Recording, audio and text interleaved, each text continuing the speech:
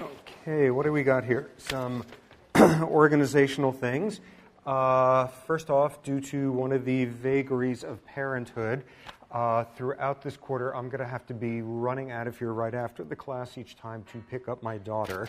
So that's going to take a certain amount of mania towards the last few minutes. Okay, the, the questionnaire comes back with a variety of answers.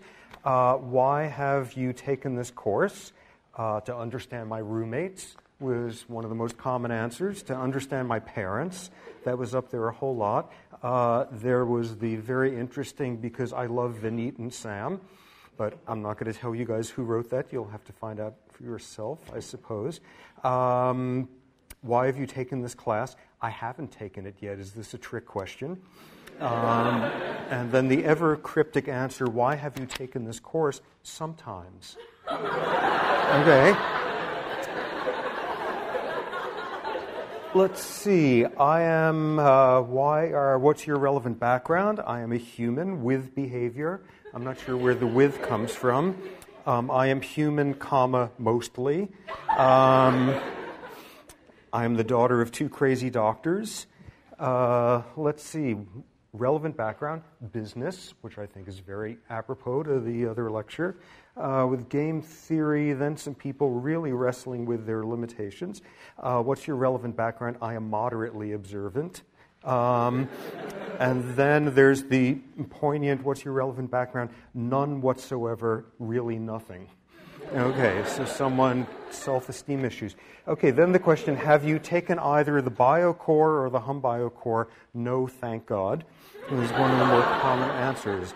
Let's see preferences for subjects for about the 400th year in a row in this class.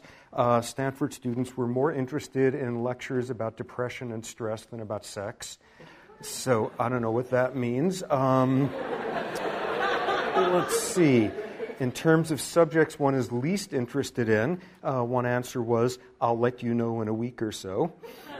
So that's to be looked forward to. Also, for about the 400th year in a row, uh, the lecture topic that had the most people who really, really wanted to hear about it, amid lots of people who really didn't want to hear about it, was the biology of religious belief.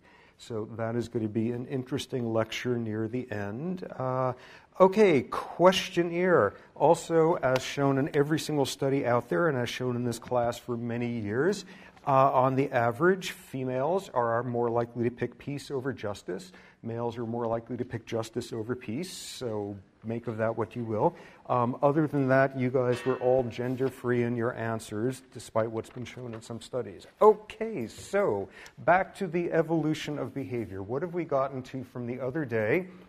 We have vanquished the ghost of Marlin Perkins. We've gotten rid of this whole notion that behavior evolved for the good of the species, for survival of the fittest, any of that stuff. We have recognized that behavior is sculpted by evolution exactly, or any physical traits, any physiological traits, with that huge wonking proviso of oh, assume that there's a heritable component to some behavior. That's going to be the main point of controversy for the rest of this class.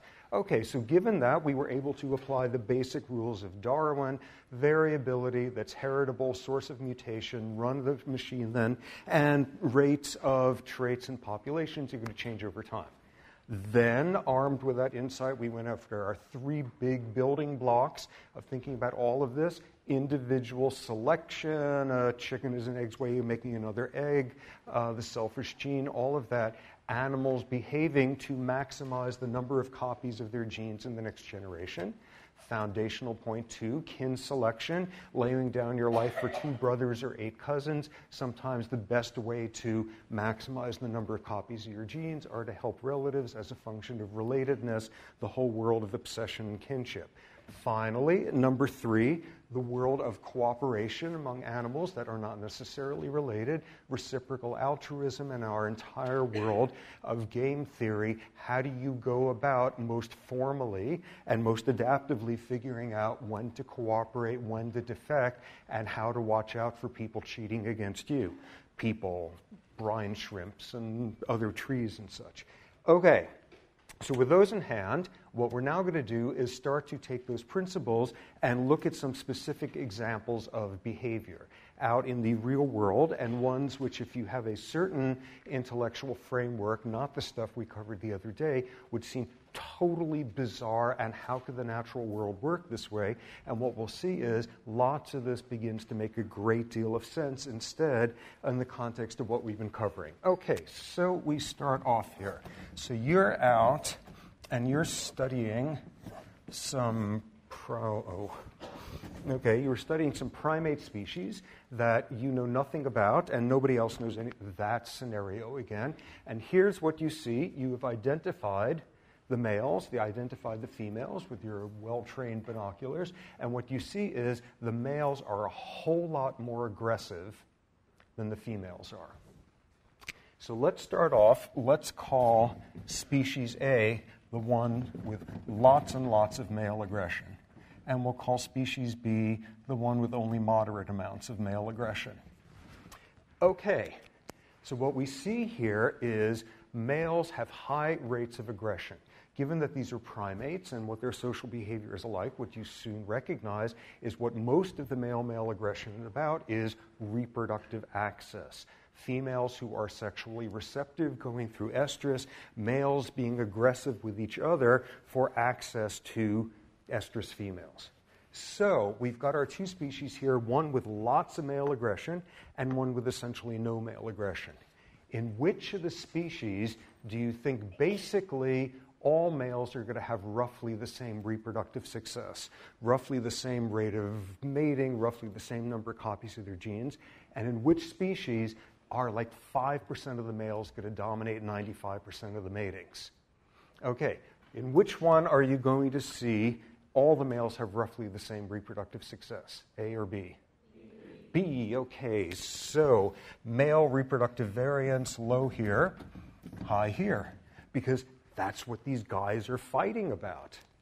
Okay, so next trait. In which of those species would you expect to see males spending a whole lot of time being paternal, taking care of infants, all of that? And in which species do males not only not care about the offspring, they don't even know whose they are, and they're not in it for that? Which of the species is going to have high degrees of male parental investment? B. Okay, so let's see. Lots of male parental investment. Okay, so you are a female. You're a female. What are you looking for? In one case, you are going to mate with a male who's beginning to have this profile, and one case, with this profile. You are a female, and you are of species B, nah, species A. Species A, what do you want to look for in a male? What's the most attractive thing you can have in a male when deciding who to mate with, given this profile? These are males who are highly aggressive. The ones who succeed in this sort of realm of competition have vast reproductive successes, and they're not going to do anything at all with your offspring. What are you going to get out of this guy? Good, ge- yes, and sperm, and that's about it. You're not going to get anything. Good genes. What the female is looking for is evidence of good genes, evidence of the male being healthy, the male being resistant to all sorts of infectious diseases, pathogens, the male being capable of wasting absurd amounts of body energy on ridiculous, asinine, big, flourishy things like big peacock tails and big antlers and all of that displays of I am such a studly warthog or whatever it is that I can afford to waste this much of my energy each day on this secondary sexual characteristic. You would expect to see flamboyant displays in this species of, by the part of males advertising what it is you got. And as we'll see, when we come to the sexual behavior lectures, you're going to see all sorts of cases and species where the males are trying to do false advertising, where they are trying to display evidence of better genes than they actually have, and where females have to have gotten very good at detecting that sort of duplicity. Okay, so females are only getting out of this guy's genes, so you might as well get good genes, and you were looking for how to determine that. Meanwhile, over this end, What's females looking for? Yeah, you're looking for a guy who's competent, who's actually going to be good at taking care of kids. So, what do you want him to do if you happen to be a bird and you're that female? You would love to see a guy who could prove to you how good he is at feeding babies. He comes and courts you with a worm. He comes and displays his male parental skills. So, you're looking for guys who are good at.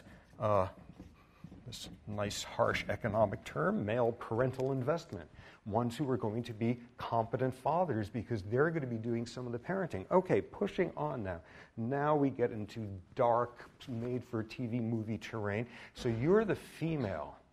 You're the female, and you've given birth, and your child or childs are starting to develop. In which species are you more likely to bail out and abandon your kids?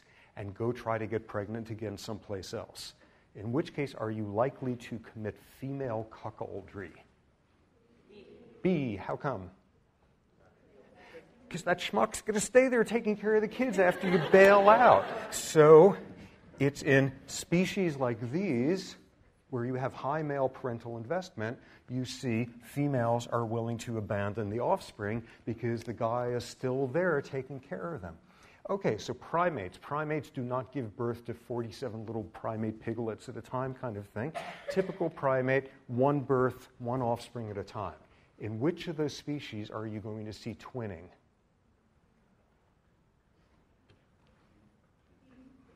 Okay, who says A? Who says B? How come B? Yeah, you got a two parent household. You've got two parents being willing to take care of the kids. In species like these, you see very high rates of female twinning. And in species like these, you never see it because you give birth to twins, and one of them is going to starve to death within a week or two because you're pulling it off all on your own. Okay, let's see. What else? Life expectancy. In one of these species, females and males live roughly the same length of time. In the other, there's a big disparity in lifespan. Which species is there going to be the big disparity? A. How come?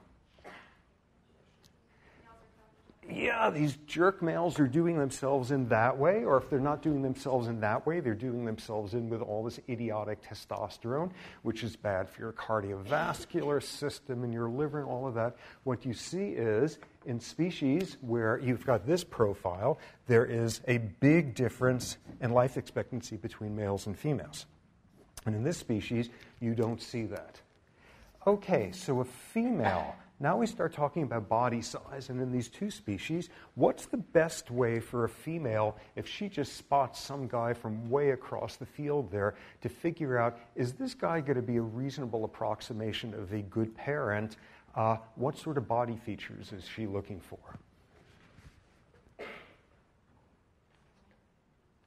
What would she want to see? What would she not want to see? Okay, what things would be an immediate turnoff for a female bee looking for a male who's going to be doing a whole lot of that parental investment stuff? What's that? Fear. Fear. Okay. But what else in terms of physical characteristics, though? She knows nothing about the guy. She just sees him from across the field. And what's the kind of guy she wants to steer far away from? Yeah.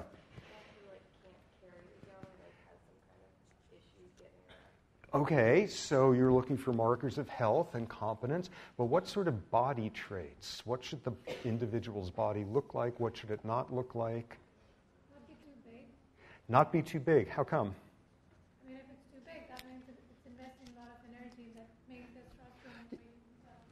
Yeah, you don't want one of these idiot guys with the antlers who's got, you know, the big strapping musculature. What are you looking for? You want to have males who do the best possible approximation of being competent parents, which is they look like females. They should have everything short of being able to lactate. They should have tiny testes. They should have body sizes that are roughly the same as the females in a species like this, you see high degrees of what would be called sexual dimorphism.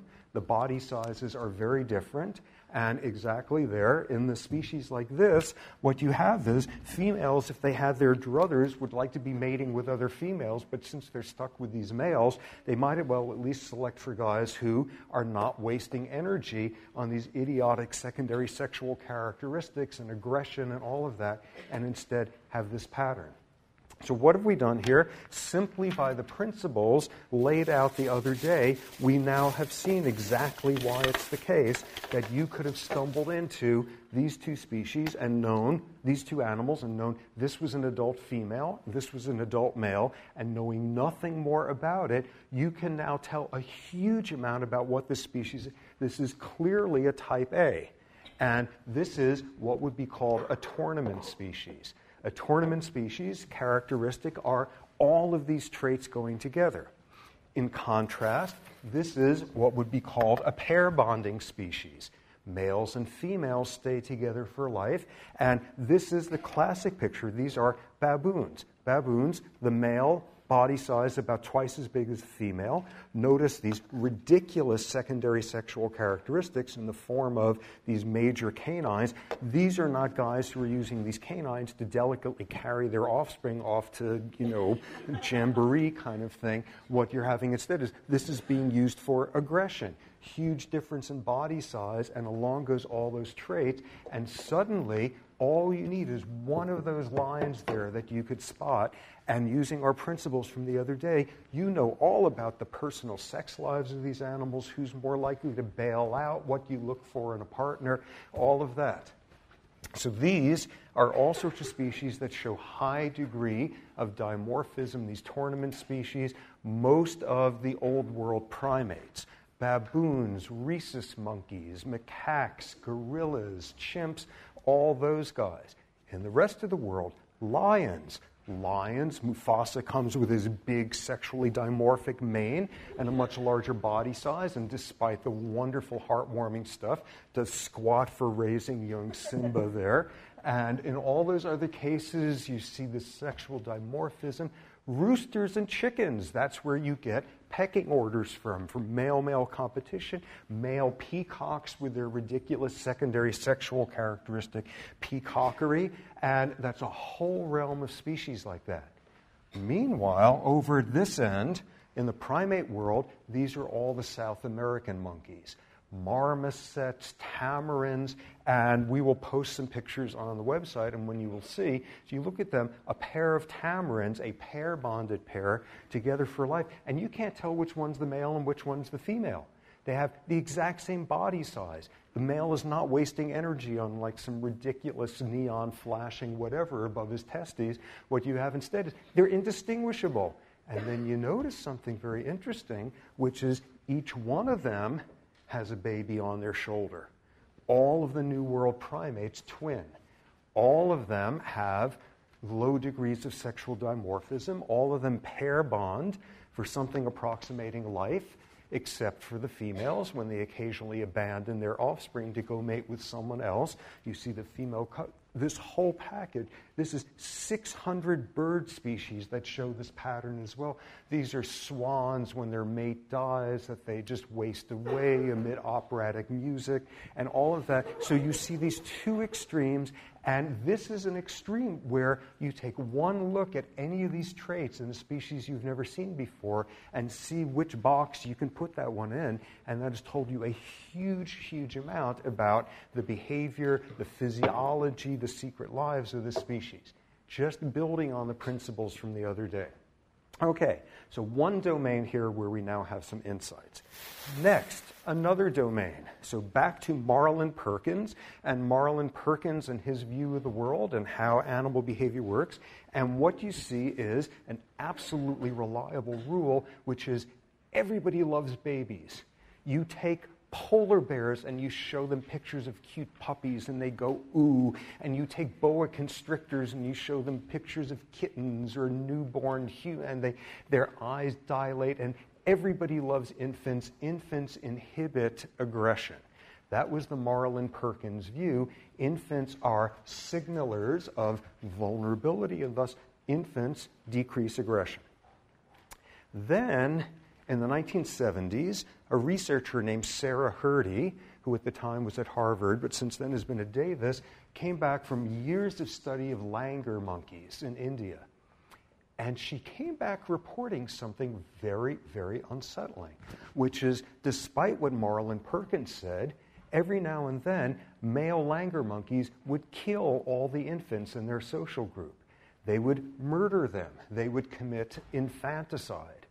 And soon word came back that you would see this in other species as well. Hamsters, gerbils, you would see this, lions, mountain gorillas. Every now and then, a male would kill the infants in a group. Marlin Perkins, nothing in his universe could explain something as bizarre as this, as infanticide. Ooh, babies inhibit aggression. And here you have a whole bunch of species suddenly popping up where instead you see males killing babies. Now, the first obvious response from the Marlin Perkins crowd was something about these langur monkeys, they're all on some toxic something or others. They've been eating. Their behaviors are abnormal and some but then word starts coming in from all these various species and infanticide is popping up again and again. So when does that make sense? And it turns out there is a characteristic to all these species where you show male infanticide. What you've got is a breeding group with a bunch of females typically siblings, typically cousins, that sort of thing, and there will be one breeding male in the population. What the people in the business refer to as a harem structure, even though that's a complete misnomer, but you've got one guy in there who's doing all the matings.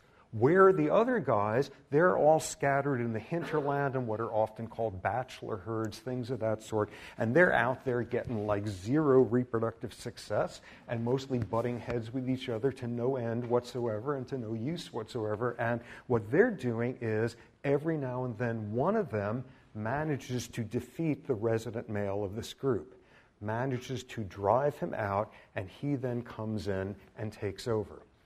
Now, here's the critical point you see infanticide when the average tenure of one of these resident males is shorter than the average interbirth interval in the species. What is that about? What's that about? What that means is you're one of these bachelor herd guys and you've been like pumping iron and stealing steroids all this time and you're finally in shape to come in and drive out this guy, drive out this guy who's been mating and father all these babies. And statistically, you're going to be defeated and booted out long before any of these females become pregnant again long before they nurse and wean their kids. Your average time that you are going to be this resident male is shorter than the typical length of time between births with females. So you, you've done all that work all those years to get into shape to take over one of these, and you're going to be booted out and long forgotten before there's any passing on of genes. What's the logical thing to do at that point? Kill all the babies in the group. And that's where you see the competitive infanticide. In species where you have a single resident male, where the turnover rate is fairly quick, so that males are unlikely to stick around long enough to have the present infants grow up, and what you see instead is the new males systematically kill the babies. And that accomplishes two things.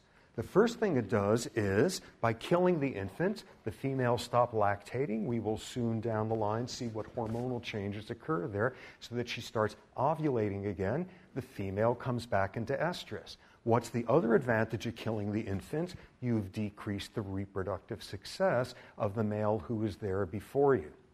And you see this pattern in lots and lots of species. And here is the greatest demonstration of how that Marlin Perkins you know, behaving for the good of the species goes down the tubes. As I mentioned, you see competitive infanticide in mountain gorillas. Mountain gorillas are like the most wonderful species on Earth. They're totally amazing, and there's only like 700 of them left in the world. And they are gradually going extinct because of habitat degradation and poaching and warfare and human diseases coming in. And part of why they're also going extinct is because they do competitive infanticide. What is ideal for the individual selection, a chicken is an egg's way of another egg, passing on scenario for an individual animal there, sure as hell isn't functioning for the good of the species. It's driving the species towards extinction. This competitive infanticide is one of the clearest examples you can get of how selfish genes and genomes can be. Okay, you begin to see even subtler examples of it. So now you've got species where you got the same pattern resident male, he gets booted out, a new male comes in, and in some species, what you have are the females are pregnant at the time. So you're that male, and now what do you have to do? Not only do you have to like wait until the female gives birth and then you kill the kids, what a drag, what a hassle that's going to be. What's a much more efficient strategy? Harass the female to the point of her miscarrying. And this is precisely what you see in a whole bunch of other species. Wild horses, for example, when you have a, is it a stallion or a mare? Which, which is the, the male one? Stallion, yes, the stallion. The stallion named Mufasa or Rin Tin Tin or something, he comes in and goes through the same thing and boots out. And what happens then? Not only does he attack infants, he harasses the pregnant females to the point of miscarrying. By the time you get to things like hamsters, the whole thing is even more elegant. You are now a female, and now let's begin to look at it from the perspective of the female who wants to pass on lots of copies of her genes. So a new male comes in, you are pregnant, and what you know is he's going to start hassling you, or as we all learned when we had like baby gerbil pets or whatever, he's going to eat the babies once they're born, that sort of thing. And what do you do instead? Because you, the female, want to have your own evolutionary good luck going on there. Okay, if I give birth to these kids, they're just going to get eaten. What do you do? You spontaneously abort. If you are pregnant, when a new male comes in, the females spontaneously abort, something called the Bruce Parkes effect. And what you see is it's the smell of a new male which causes this to occur. The females smell this novel male, stress hormone levels go up high enough that that causes a spontaneous miscarriage. So that's great for the female. It's not great that she's losing this whole litter in the event, but at least she's not going through the cost of an entire pregnancy and then lose the kids. It is cutting your losses. Okay, there's one exception to this, though. Okay, so you have a resident male, and you're a hamster, and that whole world, and he's just gotten booted out, and in comes a new male. And in this case, even though you were smelling this new male and you were pregnant, you don't have the miscarriage. Who's that new male?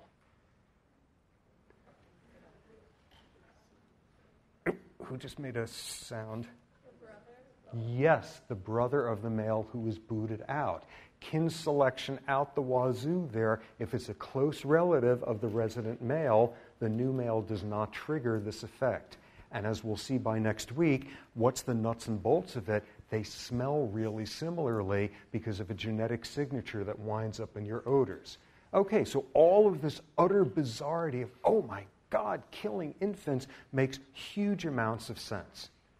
Now, let's look at another strategy that females have to try to deal with this because they're not doing so well. Ooh, either their kid is killed or they've got to like spontaneously abort and waste all that energy on it. A very interesting strategy that the female langur monkeys have come up with.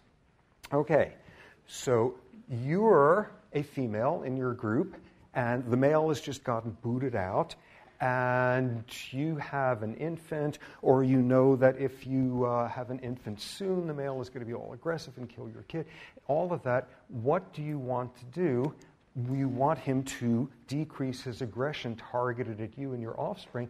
What do you do? You go into something called a pseudoestrus a pseudoestrus, a fake estrus. It's not a real one. Pregnant females at the time will go into a fake estrus, and this new male will mate with the female, and you know, two weeks later she gives birth, and the male is sitting there saying, Wait a second, doesn't our species have a five month gestation period? Two weeks since I got, whoa, what a guy, what a guy, look what I did there, all of that. And he gets faked into thinking it's his offspring offspring. When a new male comes in and the pregnant females mate with him when going through pseudoestrus, he doesn't attack the offspring.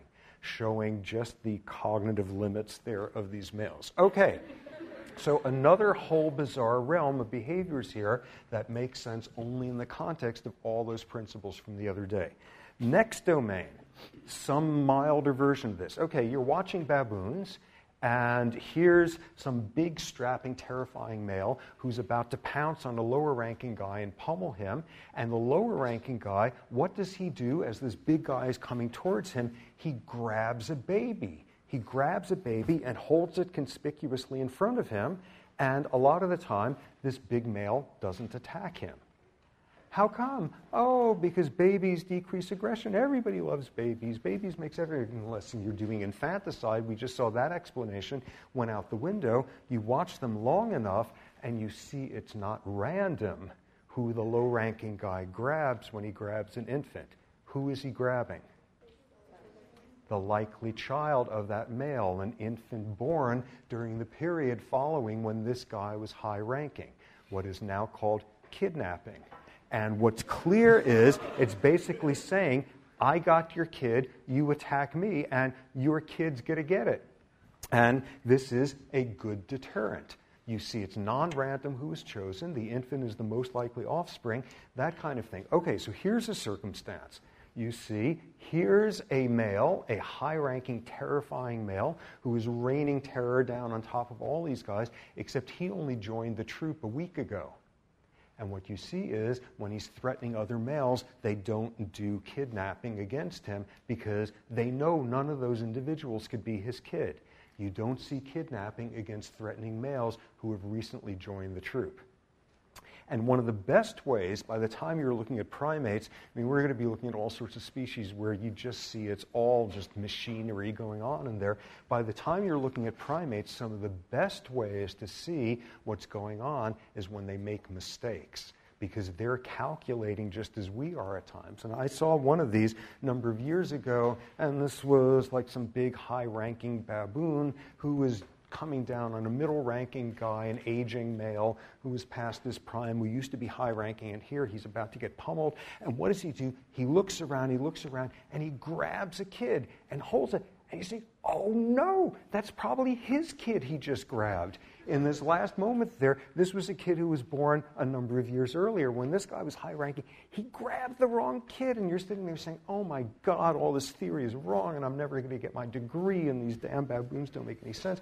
And here comes the big guy coming down while he's holding his kid, saying, Hurt me, and the kid, and he suddenly stops and sort of, and at the last second, he tosses his kid clear of it. He just figured out he wasn't making any sense.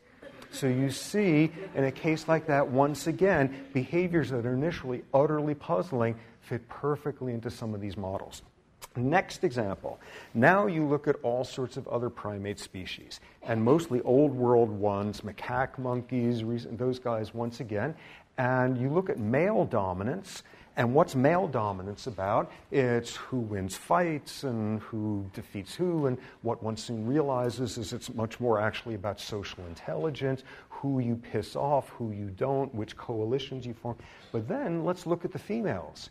Females spend their whole life in the same troop, and a female is essentially born with her rank, the rank that she's going to have her entire life. Who is one step higher in the hierarchy than this female? This is a female, and she's born, and from day one, you could see she's number seven in the hierarchy. Who's one step above her?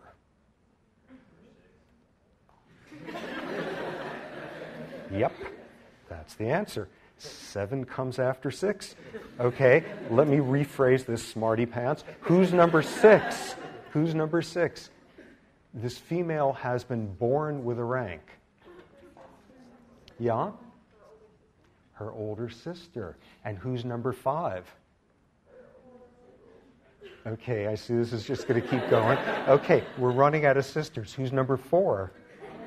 Her mother. Yes, females inherit their rank. A female's oldest daughter gets a rank one below her, her next daughter one below that, and you know your rank from your first year of life, from your first week of life if you're one of these folks. What we see here is, ooh, how to explain this? This is nepotism. This is being born into a royal family or being born into a low ranking lineage. This makes total sense from everything. This is kin selection writ large. Okay, so that makes wonderful sense. Nepotistic dominance hierarchies. Okay, so let's look at some more examples now. An issue out there. So, do you want to have a male or a female offspring? Do you want to have? Back to our caveat of uh, assuming volition when it isn't really there. What sort of sex ratios occur in different species?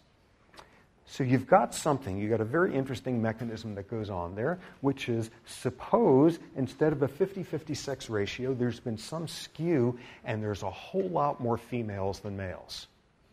You're now getting to decide, getting to decide what sort of offspring you want. There's a lot more females than males. Who do you want to give birth to?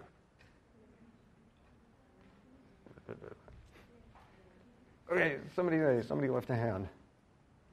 There's an excess of females. Do you want to give birth to a daughter or a son? Son, because that's the rarer commodity. There's an excess of males. Who do you want to give birth to? A female. Excess. What you see there is there is a self regulatory thing that causes oscillation around a 50% sex ratio, frequency dependent selection. If females are in excess, males are what you want to have. If males are in excess, females are what you want to have. So, this is a basic feature of lots of different species. Now, superimpose something on top of it.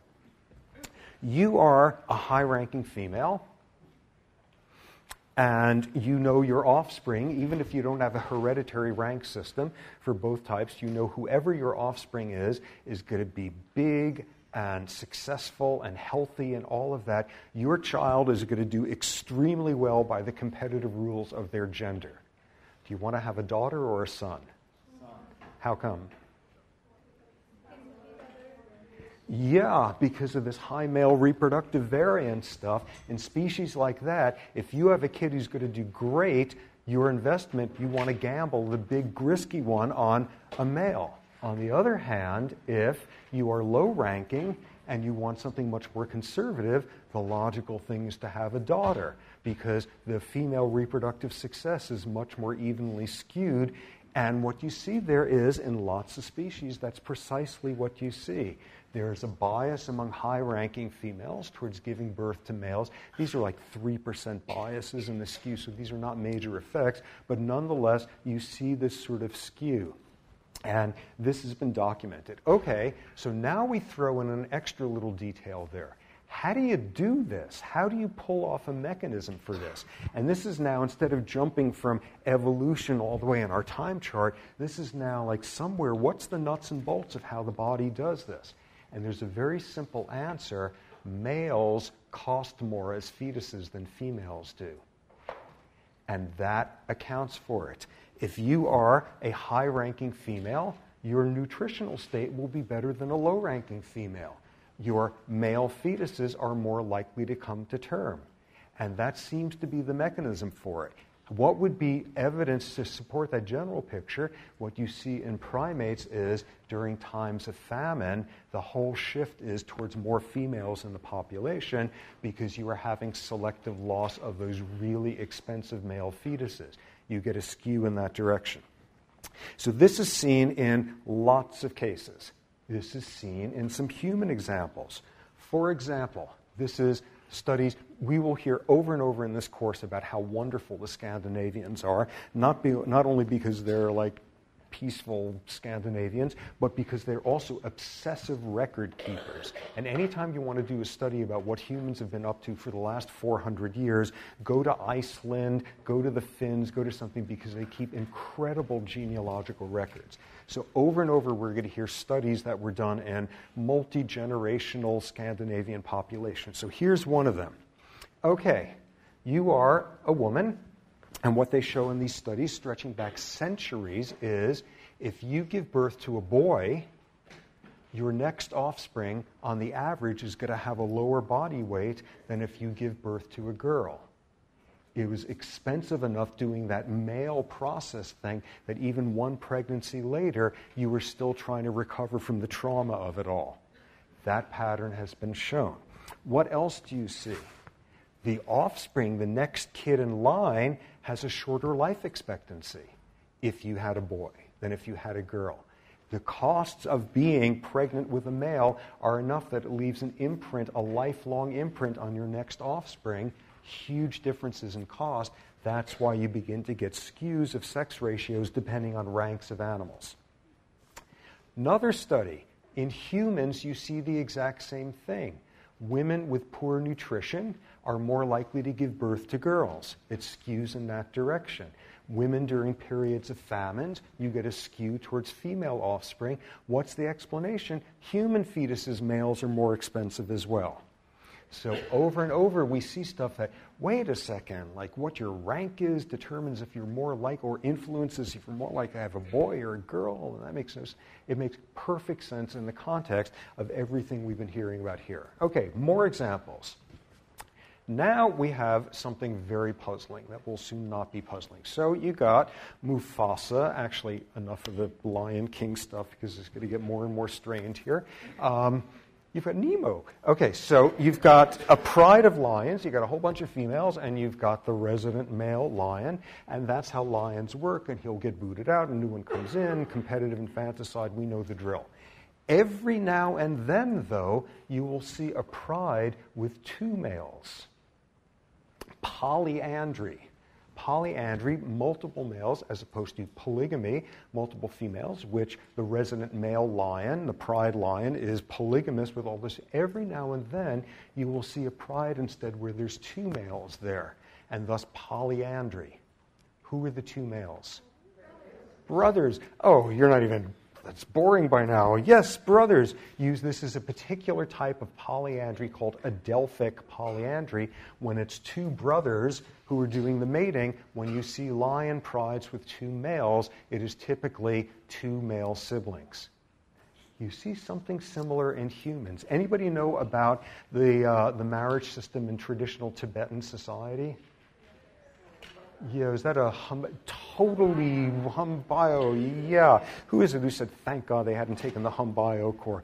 Don't you wish you had now? In Tibet, what you have is a pattern of adelphic polyandry as well. A woman will marry her husband, and as part of the deal, she will also marry her husband's younger brother and much younger brother and the five younger brothers and her husband's infant brother. And you will see these delightful pictures, inevitably in National Geographic, of here's some traditional Tibetan woman with her husbands, ranging from the big buff guy next to her down to the little infant there in the diapers. And these are all her husbands. They're all brothers. In this case, a very effective technique for dealing with inheritance of land rather than splitting up the land amongst all the different sons.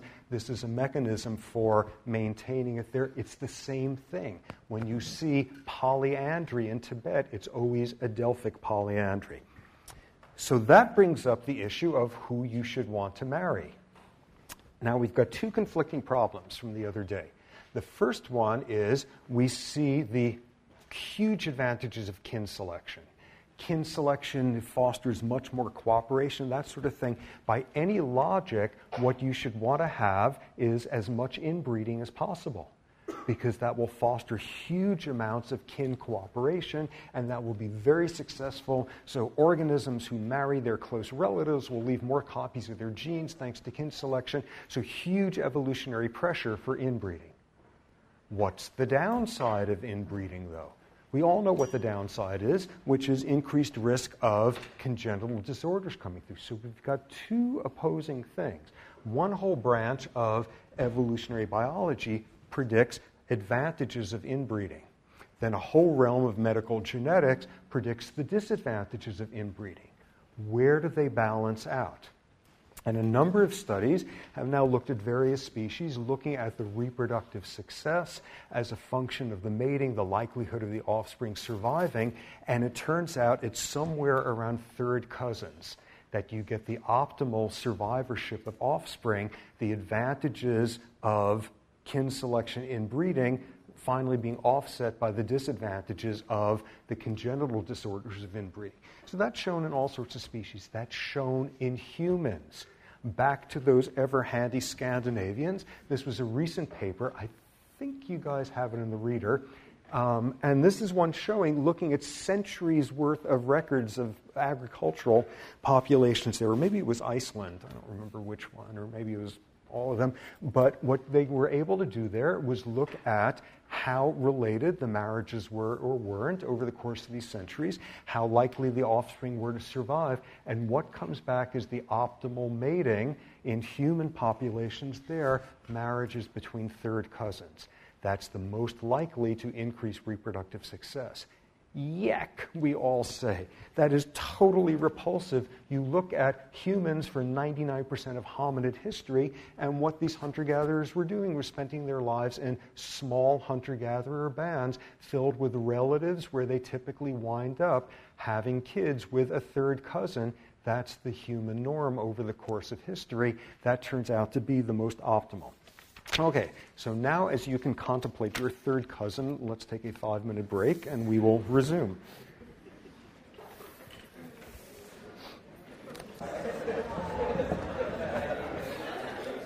Okay, even worse. Let's get going again.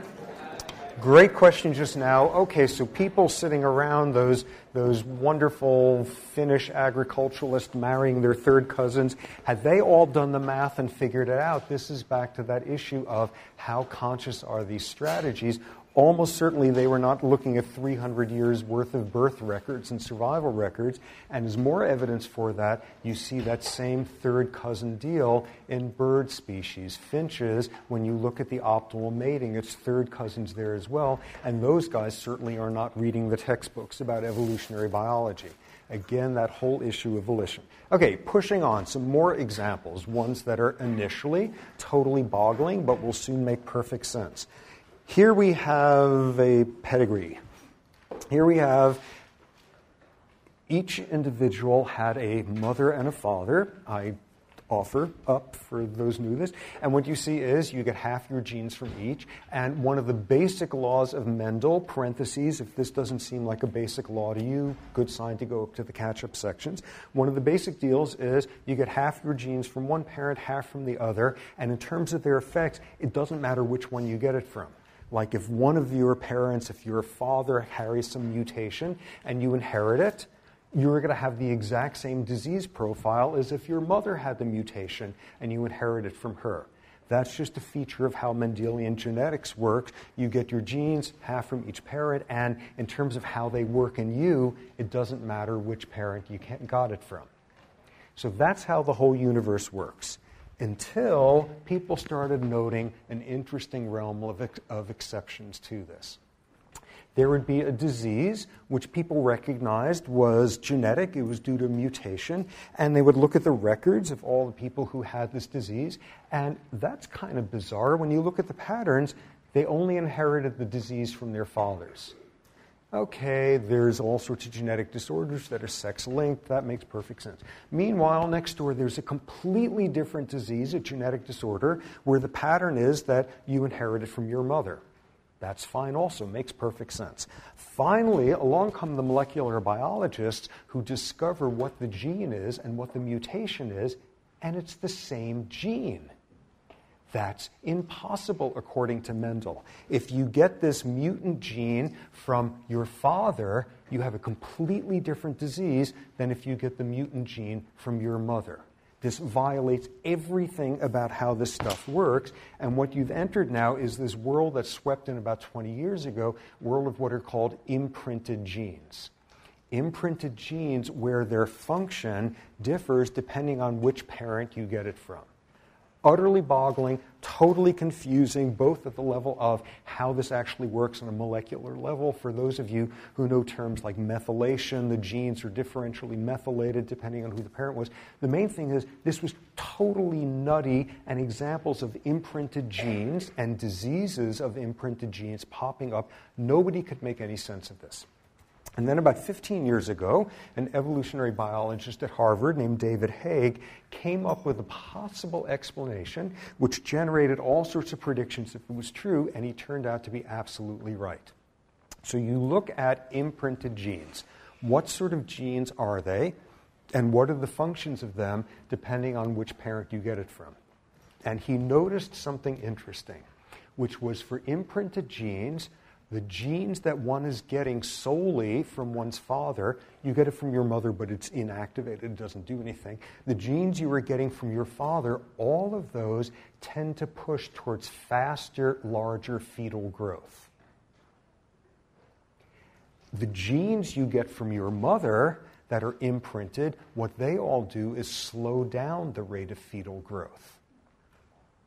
Okay, let's look at this in where it's been best studied in hamsters. Hamsters, what do you got? You got that deal where it's a resident male and he gets booted out. The male you have mated with is going to be so gone by the time you give birth, the odds of you ever seeing this guy again, let alone mating with him again, is virtually zero. In other words, if you are a male hamster and you have mated with a female, the future reproductive success of this female is of zero relevance to you because you're going to be four valleys over by then.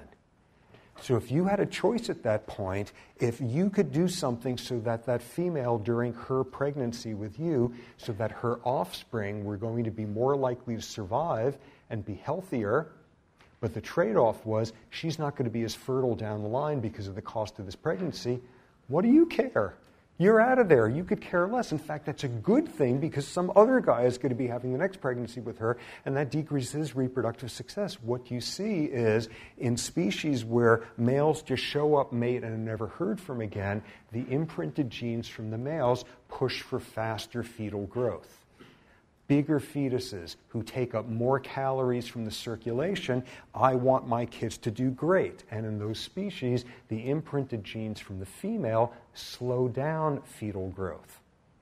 And you can see wild examples of this when there are mutations in those, when they're knocked out of action, and you see the effect of one from one of the parents without the counteracting effect from the other. For example, there's one class of imprinted gene disorders in humans where when you've got the male uh, gene that's contributed to this pairing, if there's a mutation and it's knocked out, what you have then is the female slowing down the fetal growth gene predominates. What's the disorder there? Fertilized eggs don't implant, the uterus doesn't develop. Meanwhile, if instead it's the female gene that's the source of the mutation. So now you've got the male fetus grows faster effect without any counteracting. What's the disease profile there? One of the all time bad cancers to have, something called a choriocarcinoma. Stuff is growing so fast in that chorionic tissue that you get this wildly aggressive cancer showing the push and pull in the opposite directions. So, what does this begin to imply there is a war going on between the male and the female in terms of how much should the female invest in this pregnancy versus ones down the line. How much does this male care about the future fertility of this female versus for the present? And when you see the cases where this is a species where the males tend to move on you see lots of these imprinted genes and it was soon the case that they actually began to identify some of these genes, and they made perfect sense. For example, in humans, one of the male imprinted genes is for something called insulin like growth factor.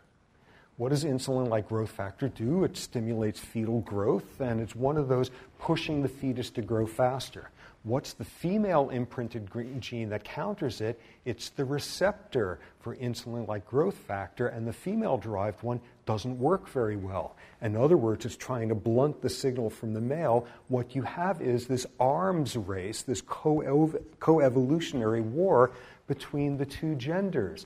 There are other male imprinted genes that push the female towards dumping more glucose into the bloodstream for the fetus. What's the downside for her? What's that causing? Gestational diabetes. Gestational diabetes is driven by male imprinted genes that push for more glucose being dumped. In. It's this war going back and forth. Then people discovered imprinted genes that were only being expressed in the brain. And what was that about? It turned out to be the exact same war.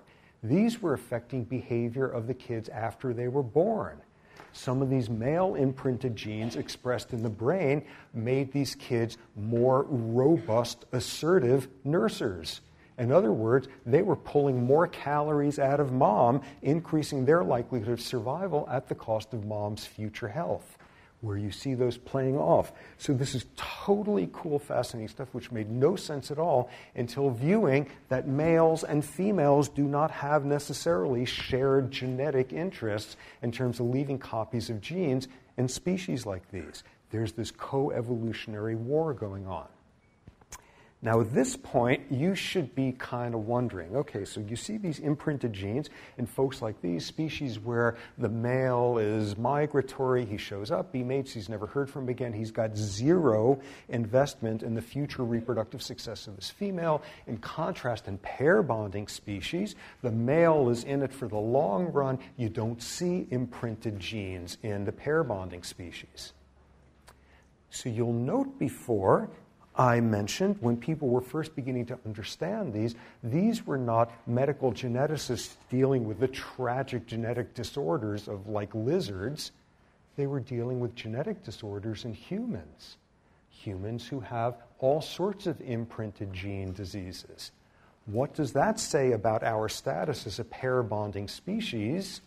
It makes it look a little bit squishy there and this is the first pass of the theme we're going to come through here. Humans have, for example, imprinted genes, not as many as you find in typical nomadic male polygamous systems, but more than you find in pair bonded species.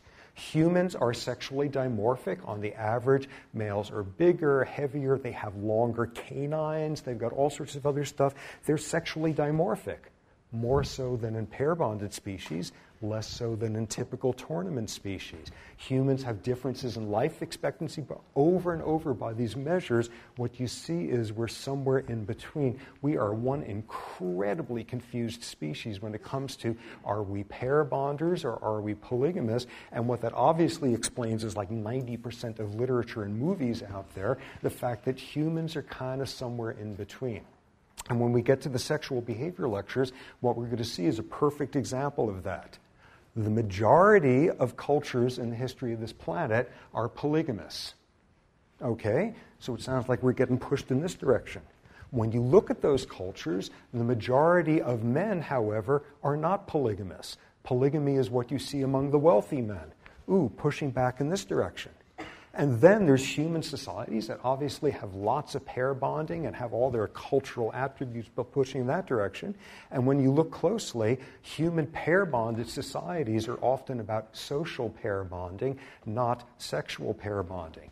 Lots of extra pair matings going. on. So, what you see is, uh, from the standpoint of even a cultural perspective, we are all confused and waffling around the middle there. We will look much more at this. But the first bit of evidence here is humans have some of these imprinted gene diseases showing an intersexual warfare over the cost of reproduction, but we don't have as many as in the classic other species.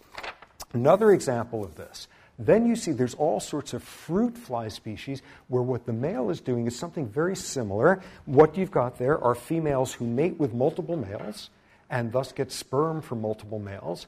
And what males come with are sperm that are not specialized in fertilizing the egg. What these sperm do is they poison the sperm from other males. They come with spermicides or some such thing, whatever they might be called, you see sperm sperm competition going on in a number of spy, spy species, fly species, where uh, the female mates with multiple males. Okay, so the males are going about their warfare. Does this have a downside for the female? Yeah, because she's sitting there swimming in all these toxins that the male's sperm have released inside them. It causes damage to the reproductive tract in females after a while. What you see is in fly species where this goes on, females secrete antitoxins in their reproductive system, this same coevolutionary war going on. Okay, one other example to make sense of sort of our principles we've got by now. So, back to baboons back to baboons, and what you see there is males hit puberty and they leave their home troop and they join their adult troop. Females spend their entire life in the same troop. They've inherited their rank from mom, nepotistic dominance hierarchies. So all the adult males in that troop have grown up elsewhere. Meanwhile, in chimps, it's the females who leave at puberty and the males who spend their whole life in the same troop or the same group there. So we've got baboons with one system, chimps with the opposite. Okay, just to get started here. So, in which species are females on the average in a group going to have higher degree of relatedness to each other? They're more likely to be related. Baboons, yeah, because the females don't leave. The females stay there, the males stay there. Okay, so in which species are the males more likely to be related? That's the profile of the chimp. In which species are males more li- in a group more likely to kill each other? Baboons. Now, the critical thing in which species are males more likely to kill the neighbors? Chimps. And what you see is, on, among chimps, you see the invention of proto warfare and genocide. And what chimps do, the male chimps of a group, is they will go out and have border patrols, the territories, and Jane Goodall first described this. And if they encounter a male from another group, they will attack and kill him. And what she documented in a number of cases, other people since then, is where males in a group will systematically kill all the males in the neighboring group. What is this? This is, for one thing, organized aggression, proto warfare. There's all sorts of ritualistic stuff that the male chimps do beforehand to get themselves in this emotional contagion frenzy. To do this, what is this also? This is the building blocks of genocide. This is individuals being killed not for who they are, but simply because of what group they belong to. Chimps do this. Baboons don't do this because they're, they're way too busy trying to kill each other within a troop. What you see is in groups where there is female exogamy, when females are the ones who leave at puberty, you are left with this really, really, really scary situation, which is a whole bunch of males who are getting along well with each other. Because when that happens, that's when they start thinking about taking over the next valley. Thus, a term we will come back to, or a soundbite we'll come back to in the aggression lectures Often, the way to decrease homicide is to invent genocide. You see inverse levels, decreased aggression within a group is often occurring because of organized aggression going outward. When males are the ones who leave at puberty, they're trying to kill each other within the troop. When it's the females who leave, you've got bands of brothers. And what we will see is the whole role of kinship and pseudo kinship and aggression somewhere down the line. Okay, so this has been a grand tour of all sorts of oddities of animal behavior, including humans, which are utterly odd until we apply some of these principles. And we see here playing out individual selection themes, kin selection, all of that. Now, back to something which we trashed two days ago as just laughably obsolete and over the carcass of Marlin Perkins group selection. Animals behave for the good of the species. Totally trashed, gotten rid of, gone by the mid 60s for people who thought seriously about the subject. Animals behave for the good of their genes or for the reciprocity, all of that. Meanwhile, out in the wilderness for the last 20 years, there's been an evolutionary biologist named David Sloan Wilson who's showing just how much he's been sort of a lunatic fringe voice, has spent his career at the State University of New York in Binghamton, which I have to tell you is not one of the places where you want to spend an academic career. He's been out in the middle of nowhere, and the reason why is for years and years he's been saying, actually, there is group selection actually, group selection is part of this whole picture. For years, he's been pushing the notion that, yeah, 1960s group selection, animals behave for the good of the species, is nonsense, but there is a version of group selection that does actually go on. And what has become clear is he is absolutely right.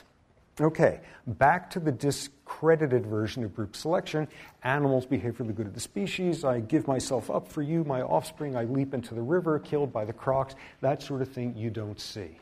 What is the level of group selection where you begin to see that this, in fact, is a valid phenomenon? Okay, so here you've got a population and something or other happens, some geographical something, a land bridge comes up, or a valley pops up one day, or a mountain range, or who knows what, and you get a subset of the population that gets isolated from the others. What you have now in this smaller population, after a while, is exactly what you get in small isolated populations lots of inbreeding. Now have a relatively inbred population here. So, what are they going to be doing lots of? Whatever advantages you get from kin selection, because they're going to be just steaming along there on their high degree of relatedness. In other words, what you see in populations like these is you're more likely to get spontaneous systems of cooperation and reciprocity. Because it's not driven by part three the other day, reciprocal altruism, it's being driven by part two, the kin selection. So you have here what is called a founder population, and it's inbred, and you will often see high degrees of cooperation there. Then something happens, the mountain range disappears overnight, who knows what, and suddenly these guys join the old population. And what you have is this previous founder group group within the larger group, and you suddenly have precisely a group selection circumstance. The fact that these guys are, are cooperators with each other, they begin to outcompete the rest of these guys group selection on this level, this is absolutely what you see. And the cooperation at that point has to crystallize outward, or else all these guys are driven into extinction. And that's what you see with founder populations. As we will get to in the aggression lectures, founder populations are a nice, interesting explanation for how you jumpstart cooperation in the first place. It gets started by way of kin selection, sneaks in the back door, and turns into reciprocal altruism. Okay, so here we see a case of selection on the level of groups. And so Wilson, this David Sloan Wilson, has this notion of group selection on an additional level as well. Okay, here you have a study he actually did. You have a bunch of chickens. And Naturally, some chickens are meaner than other chickens. So you've got some of the chickens that are mean and others are not. And what you show is the mean chickens harass the unmean ones like crazy and tend to like decrease their fertility and they break their eggs and stuff like that. So within this group, mean chickens dominate unmean ones. Mean chickens have higher reproductive success than unmean ones. Now, instead, take a group of only mean chickens and a group of only wonderful kumbaya chickens. And what do you see there? These guys are all going about their reproduction. These guys are all killing each other's eggs and destroying each other's eggs. What Sloan Wilson showed was within a group, non cooperators drive cooperators into extinction. Between groups, groups of cooperators drive groups of non cooperators into extinction. And that's sort of the critical notion of the way group selection has snuck in the back door again. It's when you have selection on the level of groups, traits that are disadvantageous within a group can be wildly advantageous when it's all of you in your group versus another one. That's the way group selection has come back in. What you see is a case where an altruist could be much less fit than a cheater, but a group of altruists will defeat a group of cheaters every time. The term that's always used, the soundbite there is they may lose the battles, but they will win the war. So group selection has snuck in that back way. Major, major sort of peace in our time thing occurred a couple of years ago. David Sloan Wilson, group selectionist. Meanwhile, across the county over at Harvard is Edward O. Wilson. E.O. Wilson, they are not related as far as anyone knows. E.O. Wilson, who's the person who single handedly sort of brought thinking about evolution as pertinent to biology. Major, major human figure in terms of thinking about the evolution of behavior.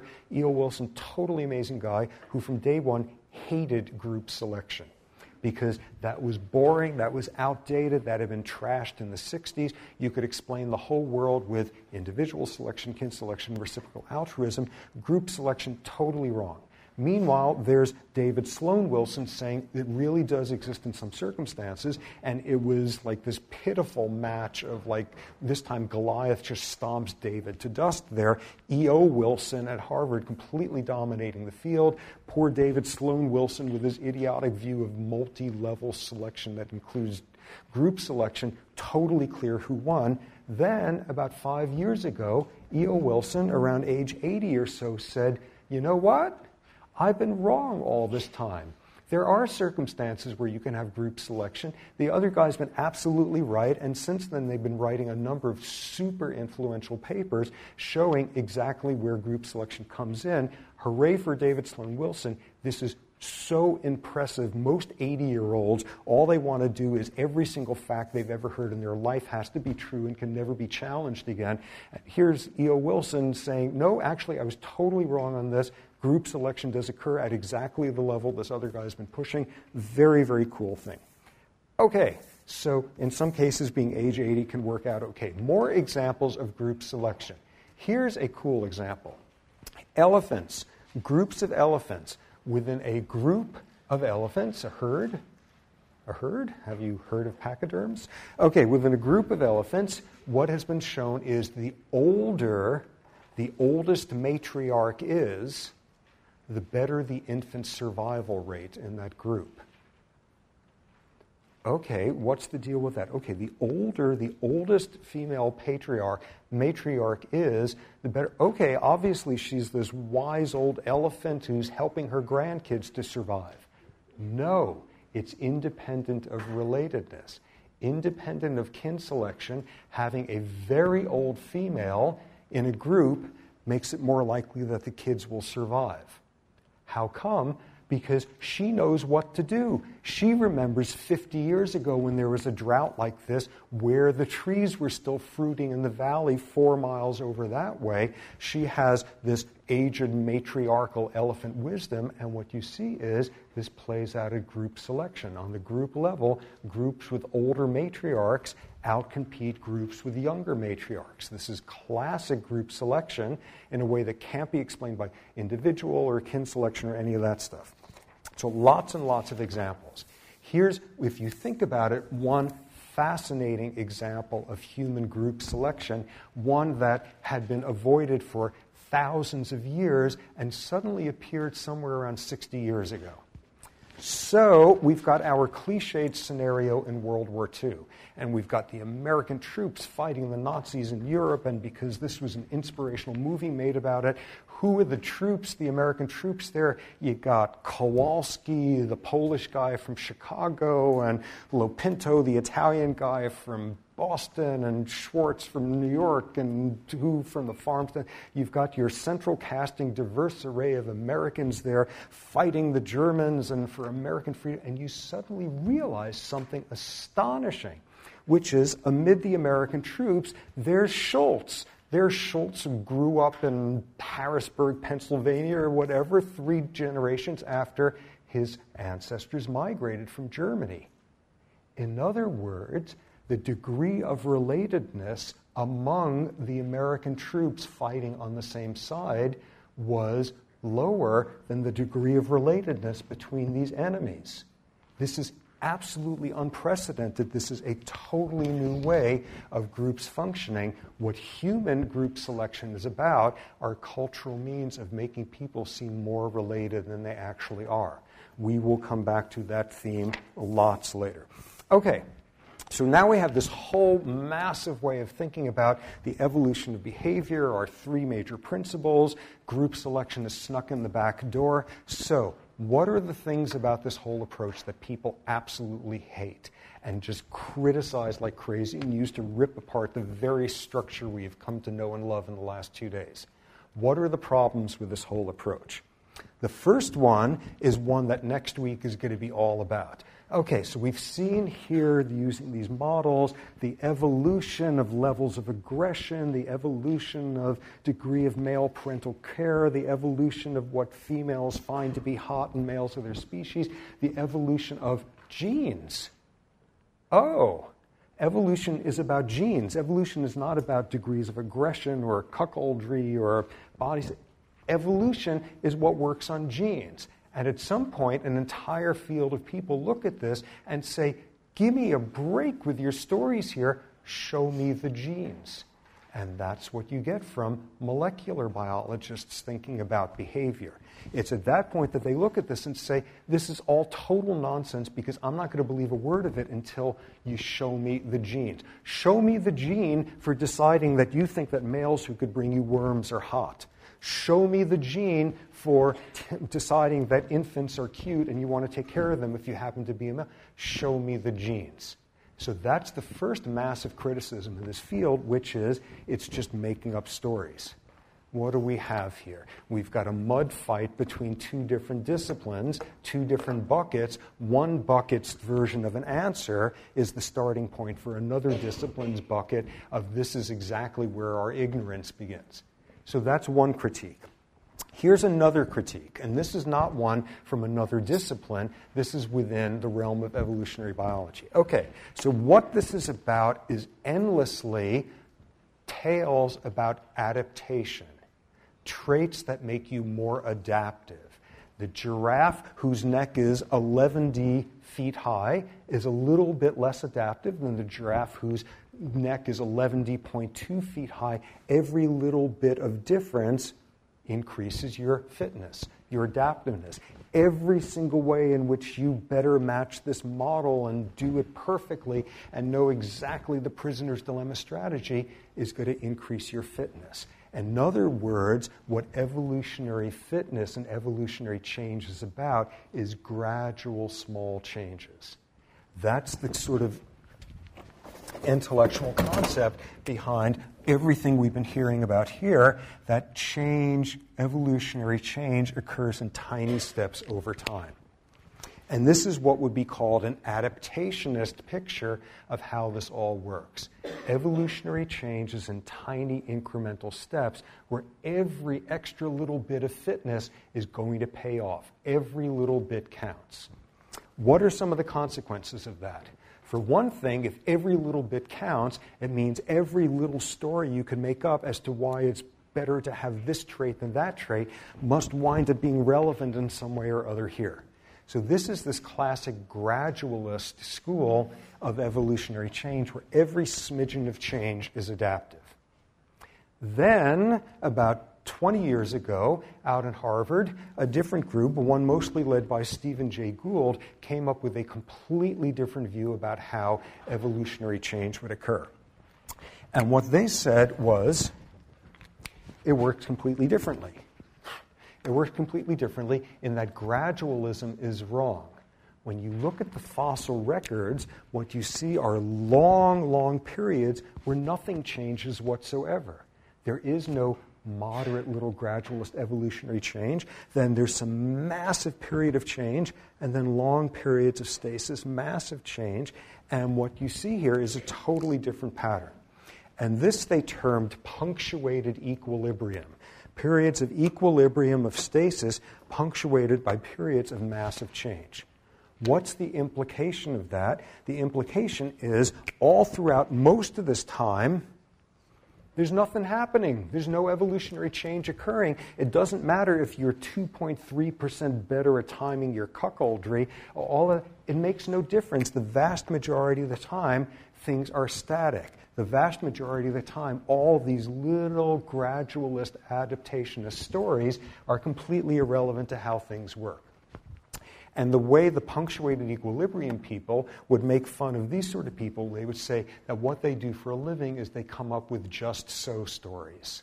Just why did the zebra get its stripes? Why did the female tamarin monkey bail out on her male and go mate with somebody else. Well, obviously, by doing this, she's going to increase her reproductive success a thousandth of 1% and do that over enough time. That's going to, and their stand is all you're doing is making up stories. What most of evolutionary change is about is occurring during very short periods. So this produced a massive, major war between the gradualists and the punctuated equilibrium people. Why is this war interesting? Because it's basically an issue of whether all this minor little stuff we've been working out for the last two days makes any difference whatsoever. In the punctuated view, what you have is nothing's happening for a long period, and then some disaster occurs where whatever it is that's going on, it kills 99% of the population. 1% with some weirdo trait survive because of that trait, produces a very different profile, and then nothing occurs until you get another of what are called evolutionary bottlenecks. And in that view, Doesn't matter if you've got 2% more adaptation and 11D different behavioral traits. What's going to happen is the comet hits, and if you have whatever trait that allows you to be in the 1% that survives the comet, or the 1% of the global warming, or the who knows what, you get through, and the rest of the time, all of that stuff is nonsense. It's just so stories. Okay, so looking at these two patterns, and the scientists who pushed for them E.O. Wilson, the other people of this discipline, Stephen Jay Gould and his group, which of those two groups of scientists are more likely to be Marxists? The gradualists or the punctuated equilibrium people? Yeah, how come? Sudden change and dialectical something or other, and that's the last time I'm going to say that because I have no idea what I just said. But yes, the leftist view of long periods of stasis and gradual change and revolution, revolution, not evolution. And something that caused this to be an incredibly contentious issue when this blew up in the 70s was it just happened by chance or maybe not by chance at all, that all of these early sociobiologists working out all these principles were all southern white males. Whew, that's kind of interesting. E.O. Wilson from Alabama, Trivers, all these other people. And it just so happened that all of these punctuated equilibrium people were leftist Marxist New York Jews. Oh, so we got two rather opposing worldviews, and what was obvious from day one with these two different branches was this argument is imbued with socio political implications. And the stances, of course, were well, in this world where every bit of competition matters and every advantage pays off, isn't that interesting in a competitive world like that? It produces, these guys would say, exactly the sort of world that these dead white male Southerners benefit from and the contrasting view would be these people's views just as imbued with political stances. This was a period where being an evolutionary biologist meant you had to have a very, very firm belief about Marx. Very contentious period in terms of making sense of this. Now, what the punctuated equilibrium people would say is an awful lot of time the little things that are changing that are of no significance whatsoever, that mean nothing at all, they're not relevant evolutionarily. And Gould came up with a term to describe these. He said they're evolutionary spandrels. Spandrel, that was a word that at the time only existed in like art history or architecture, which Gould brought into this room. A spandrel is apparently like, I don't know, in some Gothic cathedrals where you've got these arches, by definition, because you have arches, you've got a space in between. And there'd be endless decorations, just like those, put up by painters and sculptors, whatever, over the years, that spandrels, the space between columns, would be highly decorative in all sorts of these Gothic churches. So, spandrels what are spandrels for? Do spandrels keep the building from collapsing? Absolutely not, because you could actually cut out this part. Spandrels were not selected for in the evolutionary process of making Gothic churches. They're just a byproduct of how you construct these things. You get a space in between. Spandrels don't mean anything. And what Gould and crew said was an awful lot of what these people think is meaningful are instead evolutionary spandrels things that just happen that have no significance to the nature of evolution. Here's the snotty example they would always give humans, among all the primates, are the only species with chins. If you think about that, we're the only ones who have chins. Some people's chins are less discernible than others, but nonetheless, humans have chins and other primates don't. And thus, if you are an adaptationist, gradualist, all of that, you have to ask a critical question well, what's the evolutionary advantage of having a chin? And soon the literature was rife with people saying, well, you know, if you have a pointy chin, you can like get M&Ms out from the corner on the floor there, or you can use it to stab your opponents when you're trying to like increase your reproductive success and all of that. Oh, there must be an adaptive advantage to humans having chins because every little bit of difference must and humans have chins because if you happen to have a face that's like like this way instead of a muzzle and a jaw at this angle if you're going to have a human skull instead of a prime, non-human primate one. In the process of getting rid of the muzzle, you're going to get a little angle there and out pops a chin. In other words, a chin is a spandrel. And that was the heavy critique all of this stuff we spent the last two days on, most of it means nothing because this is how evolutionary change occurs. It's all spandrels. It's all spandrels and people getting tenure because they make up the better just so stories than the people who don't get tenure. That's how their field works. So, what's been the evidence for gradualism? The evidence for punctuated equilibrium. And here the fights became very, very clear. Okay, what's this sort of evidence about? Pointing out in the fossil records, long, long stretches of time where some fossil lineage doesn't change at all, and then really rapidly there's a change, and then it goes on statically like that. Gould was a paleontologist. That was his training, and he had done vast amounts of work looking at the evolution of like snail shells or something, and where it showed this pattern. Okay, so, paleontological evidence, geological evidence for punctuated equilibrium. Why do these guys rip that to shreds in two seconds, saying, evolutionary change, are you out of your mind? This in a flash here, this was 100,000 years. Give me a break. Here's another 100,000 years. That's plenty of time for all this stuff to be going on. Oh, the paleontologists have a totally different notion of what counts as revolutionary change than other people living, studying living systems. So that was one of the critiques. If you study actual living systems, you see gradualism. If you just look at fossil records of, you're more likely to see punctuated equilibrium. What was the next criticism? Okay, so what was Gould studying here that prompted this whole stance? He was measuring the angle of something or other on snail shells. What was this guy studying? The physical traces left by snail shells. What are we mostly interested in here? Neurons and hormones and physiological stuff that don't leave fossils. If you look at the fossil record, you look at the evolution of only the boring stuff the morphometry, the shape, the anatomy, all of that, and all of the stuff that we're interested in when we talk about the evolution of behavior, none of that leaves fossils. A brain that can discern the smell of a third cousin versus a second cousin, you're not going to be able to see that in the fossil records. By definition, these people would say these guys, by studying the most boring aspects of evolution, are going to see stasis when the good stuff, the really interesting stuff, is instead having the gradualism. So that was the basic fight that went on, and this is one that has totally dominated the field since then. What we will see as we transition to our next topic now, the molecular biology of how behavior evolves, what we're going to see is coming in once again through the back door, a huge, huge vote of support for one of these two models. By the time the molecular people came in, they came in initially saying, genes, genes for this, genes for that, genes, give me a break, show me the gene, show me the DNA sequence, show me the protein that it codes for and how the protein works.